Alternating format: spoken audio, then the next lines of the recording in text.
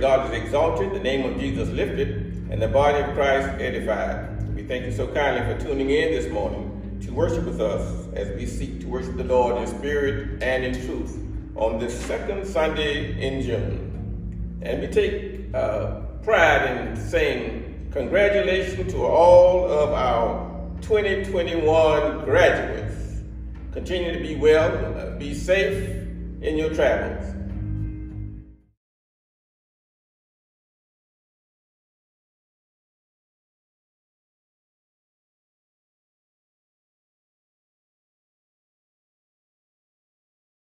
Today's Old Testament scripture will be taken from Psalm 20, and it reads as follows. To the leader, a Psalm of David. The Lord answer you in the day of trouble. The name of God of Jacob protect you. May he send you help from the sanctuary and give you support from Zion. May he remember all your offerings and regard with favor your burnt sacrifices. Selah. May he grant your heart's desire and fulfill all your plans. May he shout for joy over your victory and in the name of our God set up our banners. May the Lord fulfill all your petitions. Now I know that the Lord will help his anointed. He will answer him from his holy heaven with mighty victories by his right hand. Some take pride in chariots and some in horses, but our pride is in the name of the Lord our God.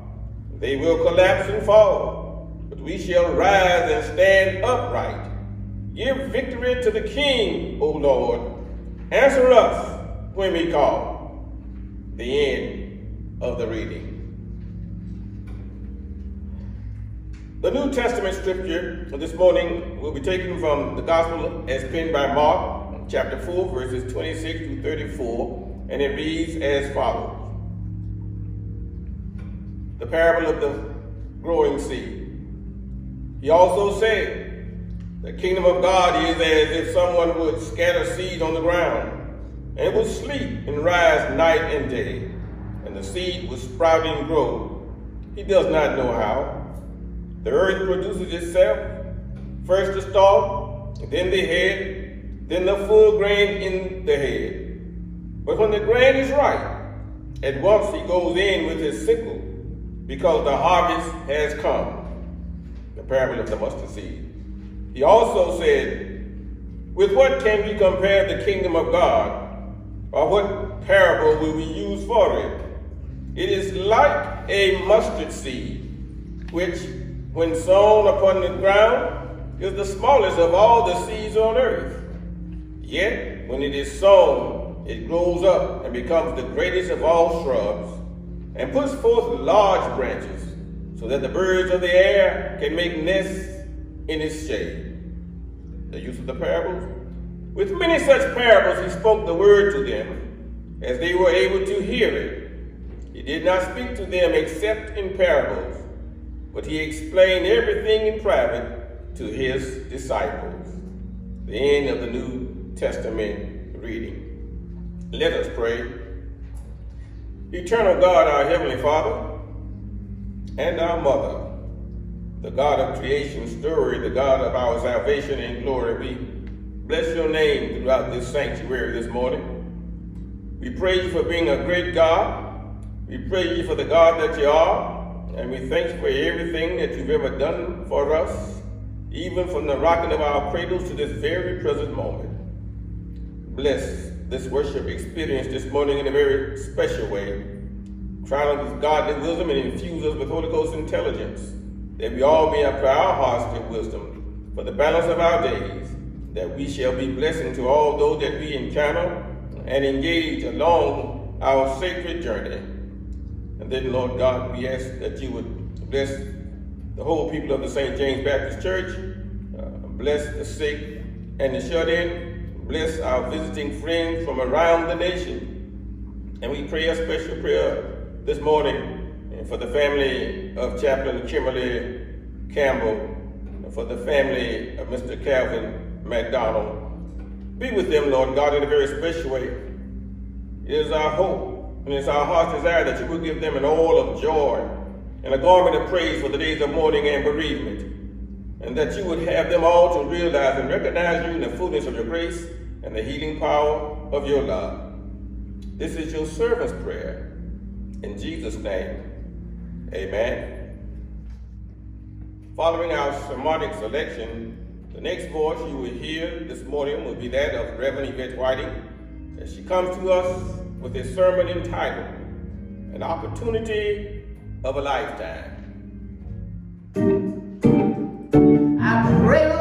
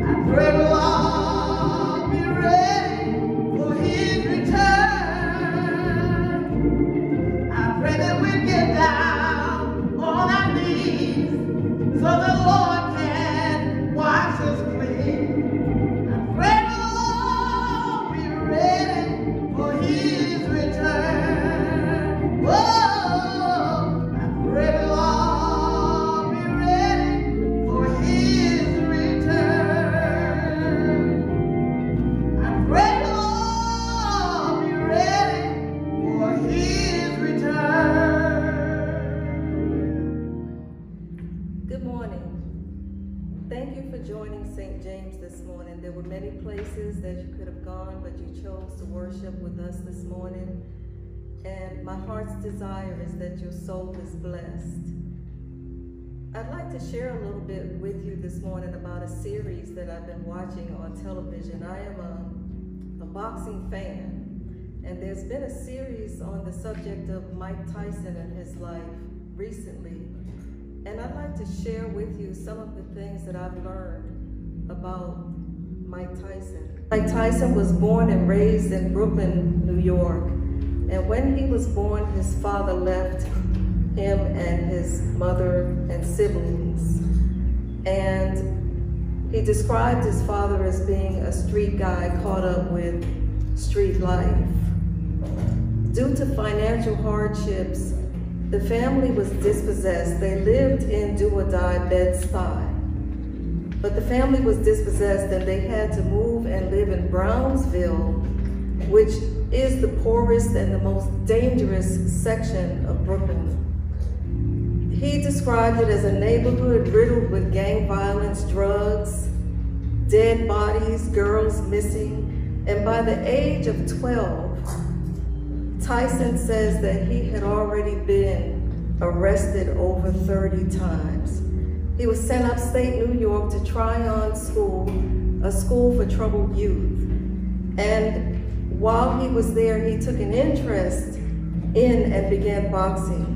Tyson's mother died when he was 16 years old, leaving him in the care of boxing manager and trainer, Cus D'Amato, who became his legal guardian. Tyson said he never saw his mother happy, and she never had an opportunity to see him do anything other than run the streets like a wild man and come home with clothes on that she hadn't purchased.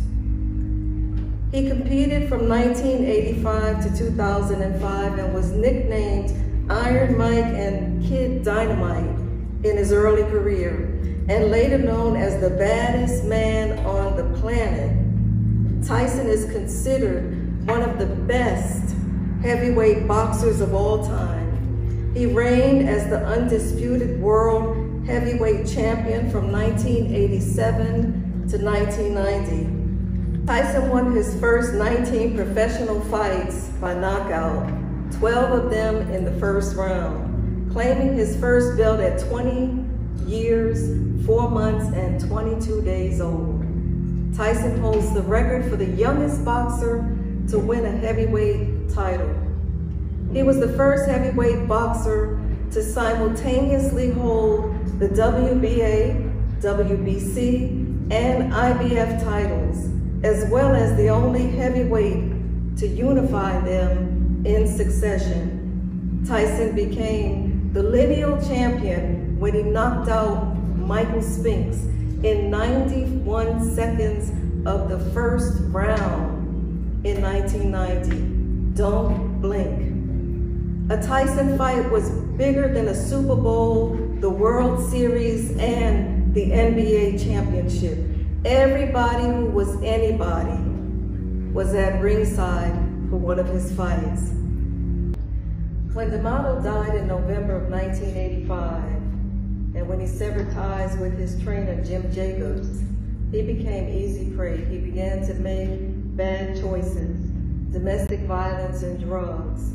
Depression and a rocky marriage caused his life to down spiral. And when he began to take for granted his ability and failed to prepare, failed to discipline his body, failed to discipline himself, Tyson lost his title to the underdog Buster Douglas in one of the biggest upsets in history when he was knocked out in the 10th round in 1992.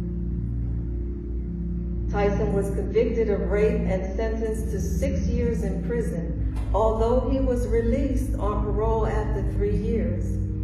After his release in 1995, he engaged in a series of comeback fights regaining the WBA and the WBC titles in 1996 to join Floyd Patterson, Muhammad Ali, Tim Witherspoon, Evander Holyfield, and George Foreman as the only men in boxing to have regained a heavyweight championship after losing it. After being stripped of the WBC title in the same year, Tyson lost the WBA title to Evander Holyfield by an 11th round stoppage.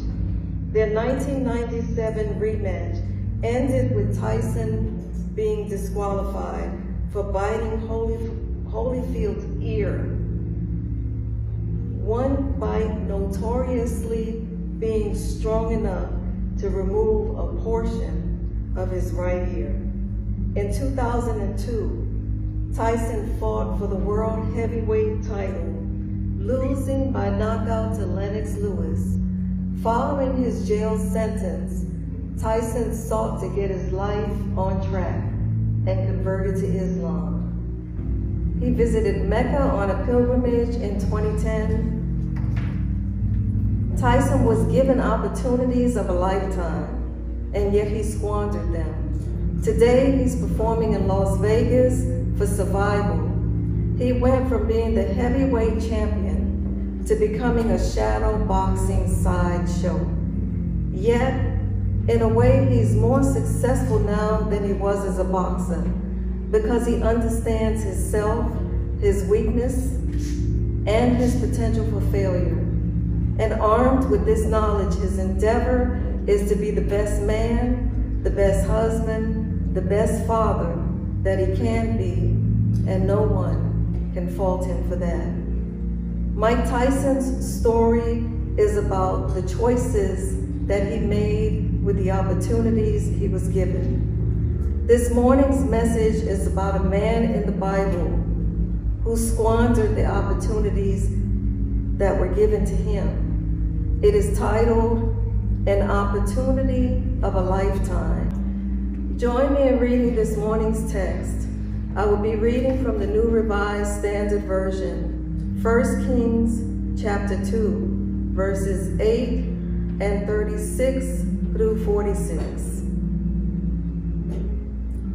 And remember, you have with you Shimei, son of Gera the Benjamite from Bahurim, who called down bitter curses on me the day I went to Mahanaim. When he came down to meet me at the Jordan, I swore to him by the Lord, I will not put you to death by the sword.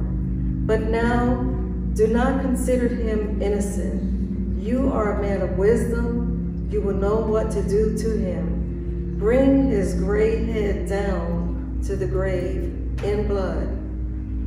Then the king sent and summoned Shimei and said to him, Build yourself a house in Jerusalem and live there, and do not go out from there to any place whatever.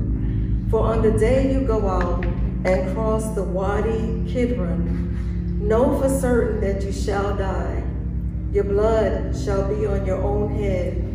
And Shimei said to the king, The sentence is fair. As my lord, the king has said, so will your servant do. So Shimei lived in Jerusalem many days. But it happened at the end of three years that two of Shimei's slaves ran away to King Achish, son of Maacah of Gath. When it was told Shimei, your slaves are in Gath, Shimei arose and saddled a donkey and went to Achish in Gath to search for his slaves. Shimei went and brought his slaves from Gath. When Solomon was told that Shimei had gone from Jerusalem to Gath and returned, the king sent and summoned Shimei and said to him, Did I not make you swear by the Lord and solemnly, and solemnly adjure you, saying, Know for certain that on the day you go out and go to any place whatsoever, you shall die and you said to me, the sentence is fair, I accept. Why then have you not kept your oath to the Lord and the commandment which I have charged you?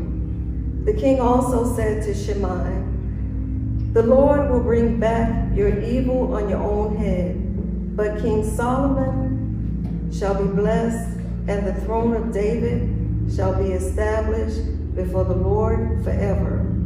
Then the king commanded Benaiah, son of Jehoiada, and he went out and struck him down, and he died. The end of the reading. The text finds us just following the death of King David and at the beginning of the reign of Solomon. Rewind, and it looks like an episode taken from the playbook of Game of Thrones. Adonijah, another son of King David, a Rhodes son, has proclaimed himself the king. King David, the aged king, lays on his bed awaiting death with a pretty young thing cuddled at his feet. His wife sits at his bedside advocating on behalf of her son to be sure that his future is sure, to be sure that his inheritance is sure, to be sure that David keeps his word. And seating at her side is Nathan the prophet, who has provided her wise counsel and instruction to be sure that Solomon is his father's successor. After declaring Solomon king, David provides him with a litany of names, including those who wronged, offended, or betrayed, or opposed him, in addition to those whom Solomon must show kindness. David had a long memory. King Solomon carried out his father's orders quickly. Abiathar, the priest, who sided with Absalom and should have been slain, was shown mercy he was removed from his priestly duties, thereby fulfilling prophecy. Joab, the captain of war, came into the sanctuary and held on to the horns of the altar, refusing to let go in an attempt to save his own life. It did him no good. He was slain because it was decreed by the king. The altar in the sanctuary had four horns, and there was a custom of people seeking asylum, hanging onto the horns in the sanctuary for mercy, for clemency. And now came Shimei. Shimei was a part of King Saul's clan. When King David was forced to flee from his son Absalom, who coveted his father's throne, Shimei met him along the way. As King David approached Bahurim, a man from the same clan as Saul's family came out from there. His name was Shimei, son of Gera, and he cursed as he came out. He pelted David and all the king's officials with stones. And though all the troops were on the right and the left of David, he cursed him. Shimei blamed David for King Saul's death during a battle with the Philistines. Saul had in fact fallen on his own sword to escape capture by the enemy. But Shimei still accused David of murder and announced that this was the reason Absalom was taking over the kingdom. David's men wanted to kill Shimei. They wanted to kill him then and there. But David in his despair believed that the Lord had sent Shimei to curse him, and he refused to allow his men to kill him. David and his party resumed their journey, and Shimei continued to follow, cursing and throwing stones and dirt at them. And now here's David's son Solomon showing him mercy with a caveat. Shimei was literally given an opportunity of a lifetime. His life was spared and he was to live and stay in Jerusalem as long as he kept the terms of their agreement not to leave Jerusalem, he could continue to live. God is merciful to David, so Solomon showed mercy to Shimei. That is mercy with conditions. Mercy provided certain requirements were met. Mercy provided boundaries were kept and provided good judgment was used. And in this case, mercy so long as an agreement between the king and his subject is honored. The fact that mercy has been extended means that there is still opportunity. And here we see the new king, Solomon, showing mercy because he understood mercy. His father David understood, was shown and showed mercy. Remember, O Lord, the tender mercies and thy loving kindness, for they have been of old. David knew that he could have been dead, should have been dead, and would have been dead if it hadn't been for God in his own life.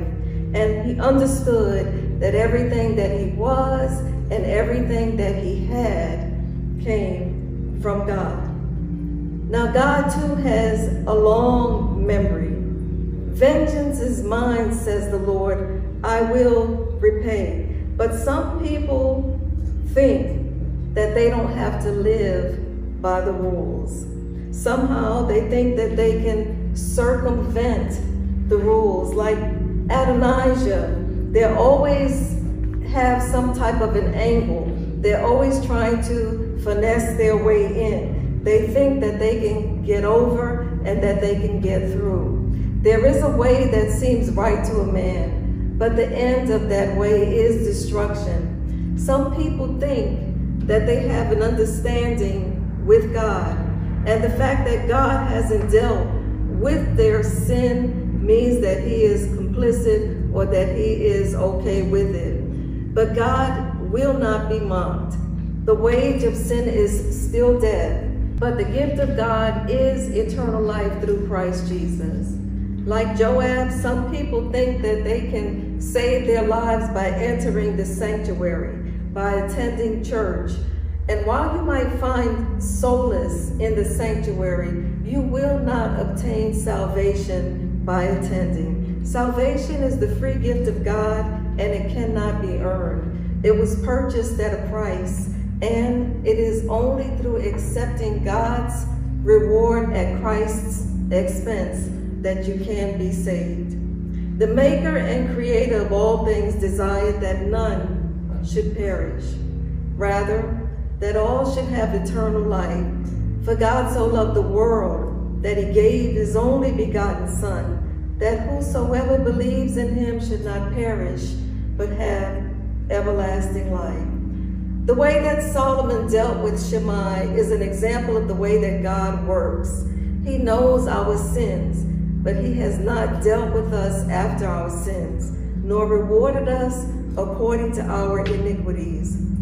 In a kingdom there is a king, and there are subjects. God becomes the king of our lives when we accept God's forgiveness, when we accept God's grace. In fact, God's gift of grace is an olive branch extended by the hand of the creator of the tree. Imagine that. It is the God of the very gods saying, Come now, let us reason together. Though your sins be as scarlet, they shall be white as snow. Though they be as crimson, they shall be as wool. Like Shimei, some people have failed to honor their commitments to the king. Like Mike Tyson, some people's lives are a down spiral. God sees the mess that some have gotten themselves into. There are people who don't even realize that they're in a mess.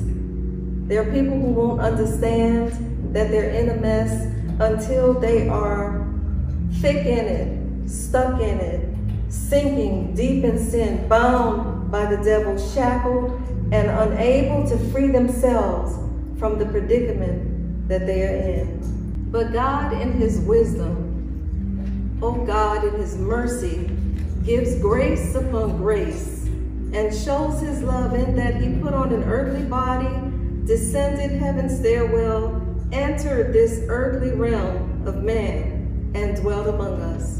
In the beginning was the Word, and the Word was with God, and the Word was God. And the Word became flesh and dwelt among us. He gives us an opportunity of a lifetime. And if you are a subject in his kingdom, he teaches you what you need to know. He shows you how to live. He gives you his spirit who is sealed with you until the day of redemption. And he gives you his living word to hide in your heart so that you might not sin against him, to be a lamp unto your feet and a light unto your path, so that you might have life and have it more abundantly. He sent his son not to be served, but to serve and give his life a ransom for many. That's grace. So that when we find ourselves in trouble, he is there an ever-present help in time of need. When we find ourselves entangled in the things of this world, bound by the devil, he sets us free, and who the Lord has set free is free indeed. The thief cometh not, but to steal, kill, and destroy. I come that they might have life and that they might have it more abundantly. When we get weary, Hast thou not known, hast thou not heard, that the everlasting God, the Lord, the creator of the ends of the earth, fainteth not, neither is weary? There is no searching of his understanding. He giveth power to the faint, and to them that have no might, he increases strength. Even the youth shall faint be weary, and the young men shall utterly fall. But they that wait upon the Lord shall renew their strength. They shall mount up with wings as eagles. They shall run and not be weary, and they shall walk and not faint. Now that's mercy. Mercy for they that love God. Blessed is the man that walketh not in the counsel of the ungodly, nor standeth in the way of sinners, nor sitteth in the seat of the scornful. But his delight is in the law of the Lord, and in his law doth he meditate day and night. And he shall be like a planted tree by the rivers of water, that bringeth forth his fruit in his season. His leaf also shall not wither, and whatsoever he doeth shall prosper. Now that's mercy. The ungodly are not so, but are like the chaff which the wind driveth away. Therefore the ungodly shall not stand in the judgment, nor sinners in the congregation of the righteous. For the Lord knoweth the way of the righteous, but the way of the ungodly shall perish. And if you recognize your sinfulness and you need for a Savior, this is mercy that we can draw upon. Blessed are the poor in spirit, for theirs is the kingdom of heaven. Mercy doesn't cancel suffering. We're going to suffer because Christ suffered. If we live a little, we're going to do battle. And every battle has its casualties. But God will not leave you without the tools necessary to win the fight. In fact, God has met us here to say, For I know the thoughts that I think toward you, saith the Lord, thoughts of peace and not of evil, to give you an expected end. Then you shall call upon me, and ye shall go and pray unto me, and I will hearken unto you and ye shall seek me and find me when you shall search for me with all your heart. And I will be found of you, saith the Lord. I will turn away your captivity. This doesn't mean that there won't be consequences and repercussions for the sin and choices that you've made. You've done things and you haven't done things. But God can and he will be with you in your circumstances and he will provide you peace, not as the world cannot give, but peace that surpasses understanding, so that through your life choices, you may have cut yourself short. You may have left yourself maimed, ashamed, have left yourself jobless, lifeless, clueless, wifeless. He wants to show you mercy. He wants you to live and spend your eternity with him. Today he stands at the door and he knocks. And if you'll open the door, he will come in and fellowship with you. Today he offers you an opportunity of a lifetime. They say that opportunity only knocks once, but God keeps on knocking. If you confess with your mouth and believe in your heart that Jesus is Lord and that God raised them from the dead, you will be saved. And you will experience an opportunity of a lifetime. God's grace for the free pardoning of your sin, and you will be set free, and you will imbibe in God's mercy and his tender mercies that are new every day. Perhaps you're hesitant to accept God's call to salvation because you believe that you don't deserve it. None of us deserve it. There are no big U's or little me's in God's sight. All of our works are like filthy rags, and all the ground is level at the foot of a cross. We need a Savior. We all need the Savior. And we are being and we are becoming, but we haven't arrived yet. Today, God is inviting you to come just as you are, that you might have abundant life, if only you would accept this opportunity of a lifetime. Notice that God continues to knock. But tomorrow is not promised. I wouldn't chance missing this opportunity of a lifetime today. I hope we'll all be ready when Jesus comes. Amen. Come to Jesus. Come to Jesus.